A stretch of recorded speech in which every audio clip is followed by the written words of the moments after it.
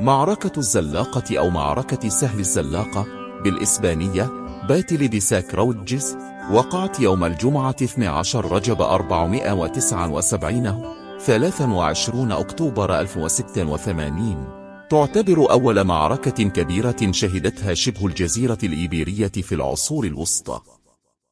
قبل المعركة الزلاقة بثمانين عاماً. بعد وفاة المظفر بن المنصور بن أبي عامر عام 399 تولى ابنه شنجول حجابة الدولة الأموية في الأندلس ولم تمر أشهر حتى أجبر الخليفة هشام المؤيد بالله على إعلان تولية شنجول ولاية عهد. مما أثار حفيظة أمراء بني أمية ودبروا المكائد لاستعادة سيطرتهم على الحكم حتى استطاع محمد المهدي بالله قتل شنجول وخلع المؤيد بالله وإعلان نفسه خليفة المسلمين في الأندلس. لتبدأ فترة من الاضطرابات الداخلية في الأندلس عرفت بفتنة الأندلس دامت حتى عام 422 وانتهت بتفكك الخلافة إلى إمارات صغيرة متناحرة عرفت باسم ملوك الطوائف. في النصف الثاني من القرن الحادي عشر الميلادي كان المسلمون في الأندلس أشد خصومة وعداوة ولم يتورع بعضهم عن التحالف مع الممالك المسيحية في الشمال أو أن يستمد عونها نظير الجزية وما لبث أن اندلع صراع بين طليطلة وقرطبة والشارك في هذه لحرب. حلفاء طرفين من أمراء الأندلس. استمر هذا الصراع سنين طويلة حتى تحالف المأمون بن ذي النون أمير طليطل مع فرناندو الأول ملك ليون وقشتالة واستطاع المأمون الاستيلاء على فالنسيا. ثم استطاع المعتمد بن عبد أمير إشبيلية الاستيلاء على مرسيا وأريولة ومدن أخرى. بعد ذلك قرر ابن عباد التحالف مع الفونسو السادس ملك قشتالة. تم الاتفاق على أن يقدم الفونسو لابن عباد جنودا لمساعدته في مواجهة أمراء الطوائف في حين كان على ابن عباد دفع الجزية لمملكة قشتالة وعدم التدخل في حربه ضد طليطلة. تمت هذه الصفقة وفقا للاتفاقات بين الطرفين. أحد أهم نتائج هذا التحالف كانت إتاحة الفرصة أمام الفونسو للسيطرة على طليطلة التي كانت العاصمة القديمة للقوط في عام 478 1085 ميلاديا. وبذلك خسر المسلمون طليطلة إلى الأبد بعد حكمهم لها لمدة 372 سنة واستولى الفونسو عليها. استمر ملك قشتالة في الحكم في هذه المنطقة منذ ذلك الحين جعلها ألفونسو السادس عاصمة قشتالة سقوط طوليطلا في يد المسيحيين كانت القشة التي قصمت ظهر البعير. لحظة تاريخية أشد ألما وإلاما على المسلمون في الأندلس. قد كانت هذه الفترة بداية النهاية للوجود الإسلامي في الأندلس تأثير كبير على القوى الإسلامية في المنطقة. حيث بدأت الدول المسيحية في شمال الأندلس في التوسع والتقدم نحو الجنوب بشكل أكبر. هذا أدى إلى تصاعد الصراعات والمعارك بين المسلمين والمسيحيين وتزايد التهديد على مدن الأندلس الإسلامية. ألفونسو لم يقنع بطليطلة بل استولى على جميع الأراضي الواقعة على ضفتي نهر تاج وعلى قلاع مجريت وماردة وبطليوس فجزع ابن عبد وكتب إليه كتابا يحذره فيه ألا يتعد في فتوحاته طليطلة فإن تماد في فعله سوف يعتبر خقا للإتف. ولكن الفونسو لم يعل لكلام ابن عبد أي اهتمام وقرر مواصلة فتوحاته وعقد النية على غزو الإمارات المسلمة كلها وأضحت طائفة سرقسط مهددة بمصير كمصير طليطلة عندها قرر معظم الأمراء المسلمين أن لا ملجأ من ألفونسو إلا بالاستنجاد بالمرابطين في المغرب.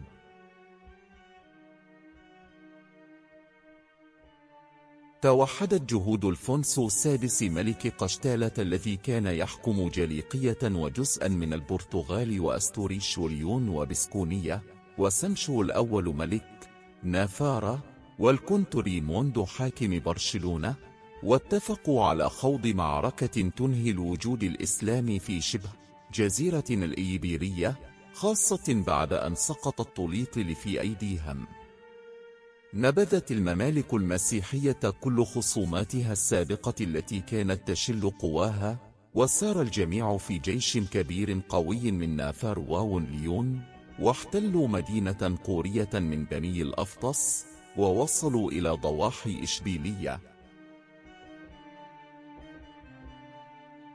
بلغ الأندلسيون في أواخر أيام عصر ملوك الطوائف حالة عصيبة فرضتها عليهم سياسة أمرائهم المتمثلة في الاقتتال فيما بينهم وخنوعهم المخزي لعدوهم فبدأوا يبحثون عن حل لما هم عليه من تردي. أخذت فكرة الاستنجاد بيوسف بن تاشفين وإخوانهم المرابطين تنتشر بين الأندلسيين وقام بعض المتحمسين لهذه الفكرة بجواز البحر والتوجه نحو مراكش ولقاء يوسف بن تاشفين يشرحون له أحزانهم وآلامهم وما جرى لهم من ضيم وقهر بيد المسيحيين في الشمال. كان ابن تاشفين يستقبلهم بكل حفاوة واهتمام ويعدهم بكل خير. أرسل المتوكل بن الأفطس أمير بطليوس رسالة إلى يوسف بن تاشفين يرثي إليه حالهم وما آل إليه أمرهم وقال لما كان نور الهدى دليلك وسبيل للخير سبيلك وصح العلم بأنك لدولة الإسلام أعز الناصر وعلى غزو الشرك أقدر قادر وجب أن تستدعي لما انتشر الداء وتستغاث فيما أحاط الجزيرة من البلاء. ألا من ناصرا لهذا الدين؟ ألا من حاميا لما استبيح من حمى الحرم؟ فحي على الجهاد بما كتب الله وفرضه وبحديث رسول الله من رأى منكم منكرا فليغيره بيده فإن لم يستطع فبلسانه فإن لم يستطع فبقلبه وذلك أضعف الإيمان. وسلام. استجاب يوسف بن تاشفين سلطان المرابطين لدعوة ملوك الطوائف بعد تهديد من ألفونسو السادس ملك قشتالة. تلك الدعوة كانت جزءا من جهود المسلمين لتوحيد صفوفهم ومواجهة التهديدات المسيحية المتزايدة في الأندلس. عندما صعد ابن تاشفين إلى السفينة مع جيوشه متوجها إلى الأندلس دعا الله قائلا. اللهم إن كنت تعلم أن جواز هذا خيرا وصلاحا للمسلمين فسهل علي جواز هذا البحر. وإن كان غير ذلك فصعبه علي حتى لا أجوزه كان ابن تاشفين قد أمر بعبور الإبل من المغرب إلى الأندلس لأغراض عسكرية فعبر منها ما أغص الصحراء وارتفع رغاؤها إلى عنان السماء ولم يكن أهل الجزيرة قد رأوا جمالا قط ولا كانت خيلهم قد رأت صورها ولا سمعت أصواتها وكانت تذعر منها وتقلق وكان هذا قصد يوسف بن تاشفين في عبورها فلما كانت المعركة كانت خيل الإفرنج تحجم عنها. كان يوسف بتاشفين على رأس الجيوش الإسلامية المتجمعة في الجزيرة الخضراء والتي وهبها المعتمد للأمير يوسف لتكون مقرا لجنده ومركز اتصال وإمداد للمجاهدين وخطا مأمونا للعودة وكان ابن تاشفين يقول في غمرة استعدادهما للمعركة. أنا أول منتدب لنصرة هذا الدين ولا يتولى هذا الأمر أحد إلا أنا بنفسي. وقد انضمت قوات المعتمد بن عباد أمير وشبيليا وبعض قوات ابن الصماح أمير المرية وعبد الله بن بلقين أمير غرناطة وأخوه تميم أمير مالقة إلى معسكر المرابطين وقدم القادر بن ذي النون والمتوكل بن الأفطس فأمرهم أمير لمسلمون ابن تاشفين أن يكونوا في معسكر ابن عبد فأصبح لمسلمون معسكرين معسكر الأندلس معسكر المرابطين. جاءت أنباء عبور المرابطين إلى الفونسو السادس وهو يشدد الحصار على مدينة سرقسطة مما اضطره لرفع الحصار عنها والتفرغ لإعداد الخطط وتجميع القوى. فأرسل إلى ردمير الذي كان يحاصر مدينة طرطوشة. وإلى البرهانس القائد القشتالي الذي كان يحاصر بلنسية فأتوه بجيشهما وبعث إلى قشتالة وجليقية وليون فأتى من تلك البلاد حشود كبيرة واستمر الفونسو في الاستنفار والحشد من أرجاء أوروبا وأخذت النجدات تتوافد إلى قشتالة حتى استكمل ألفونسو قوته العسكرية كاملة.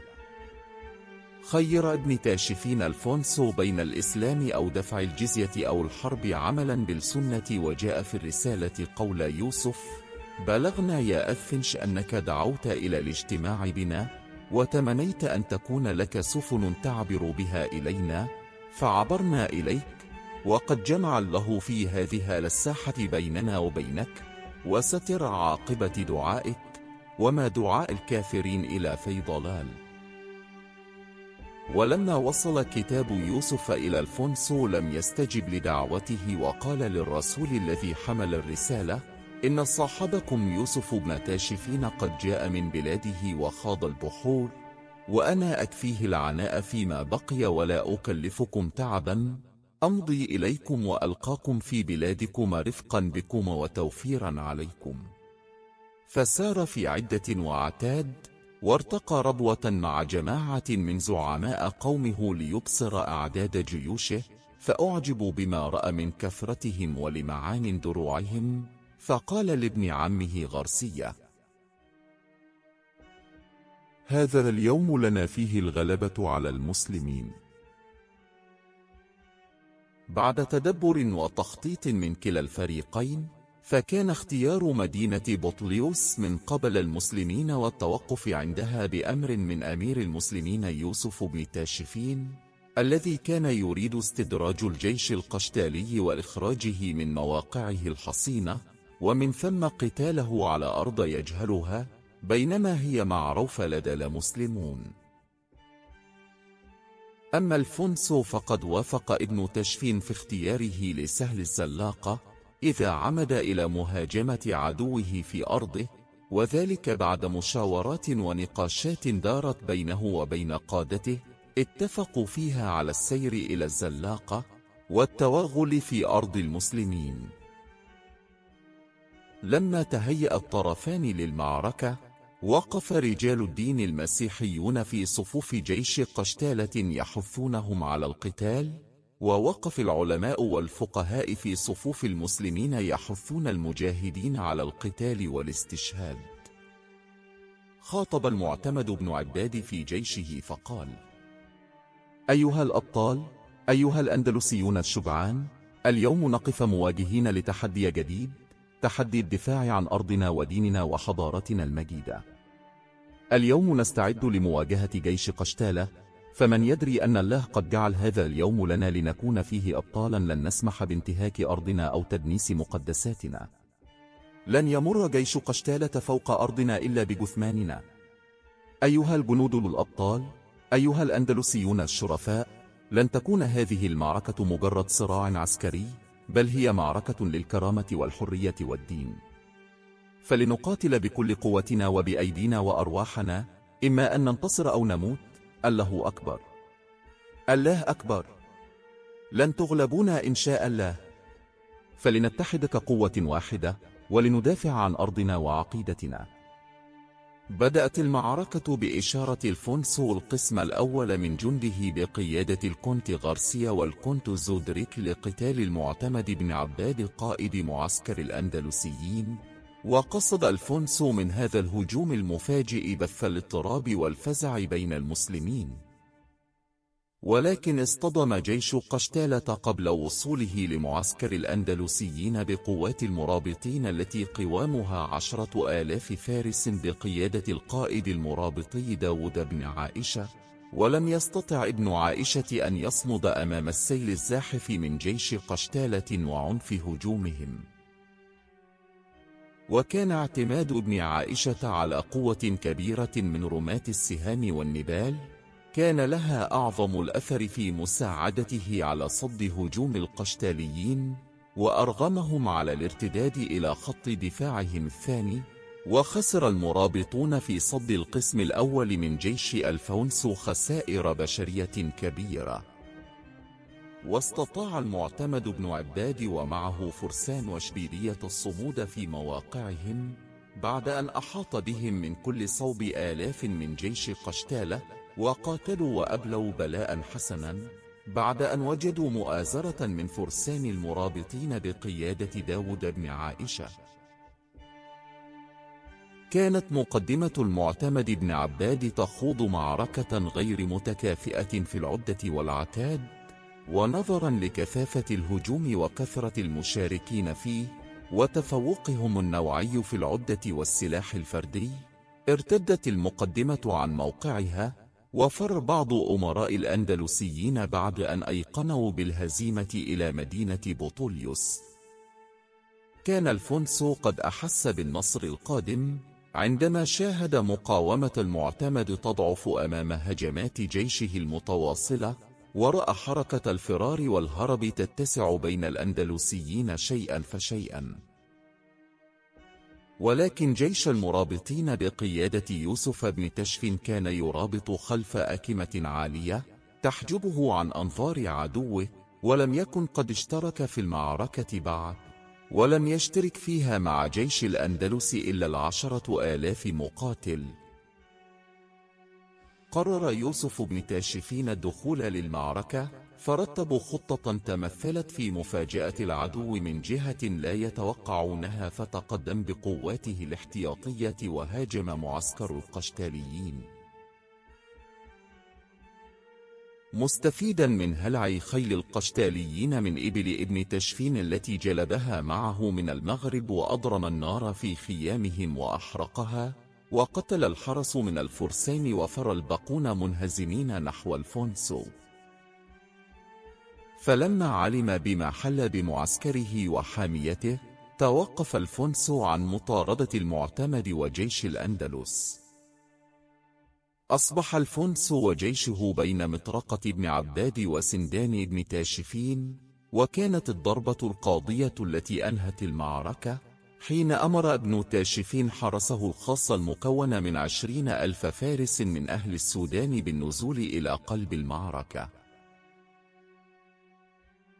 ويقال أن يوسف بن تشفين استطاع لوصول لألفونسو وطعنه في فخذه طعنة نافذة بقي يعرج منها طوال حياته.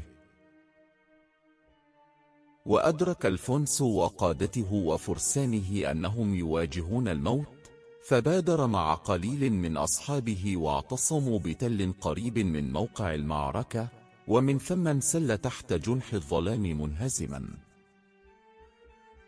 وبهذا النصر انتهت معركة الزلاقة التي لم تستمر إلا يوما واحدا يقول محمد بن سماك العمي.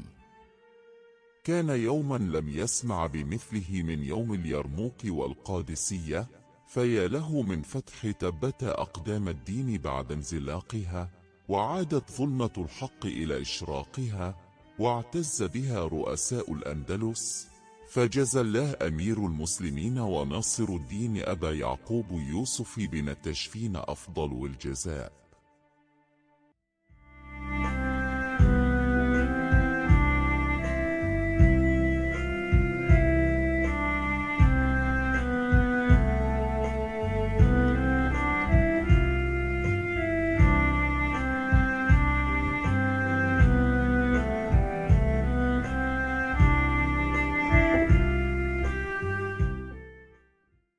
تنفس بها مخنق الجزيرة وثبت بسببها بلاد كثيرة ولجأ الأذفونش إلى جبل منيع في نحو ثلاثمائة فارس من رجاله وكان قد وصل في مئة ألفا من أجود أبطاله. وكانت أولى نتائج الزلاقة هي إنقاذ الأندلس من حركة الاسترداد التي رفع شعارها ألفونسو السادس. وإرغام ألفونسو على رفع الحصار الذي كان مفروضا على مدن الأندلس.